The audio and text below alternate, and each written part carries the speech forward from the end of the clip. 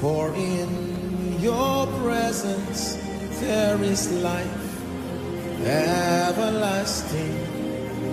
I will reverence we speak over our children.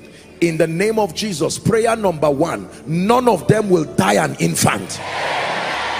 Number two everything connected to ancestry whether coming from the east the west the north and the south.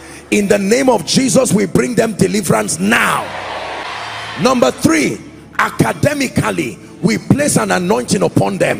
May they excel like Daniel.